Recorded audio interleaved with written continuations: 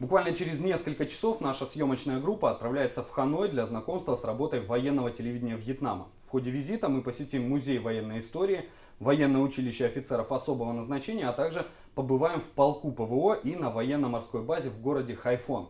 Если вы хотите узнать об этой стране больше и вам интересно, как сегодня служат в армии Вьетнама, задавайте свои вопросы в комментариях к этому видео или на наших страничках в социальных сетях. Не забывайте делиться видео с друзьями и голосовать за понравившиеся вопросы. Видеоответы на самые популярные темы будут в ближайшее время на нашем канале и на сайте телекомпании по адресу vntv.mil.by. Познаем Вьетнам вместе.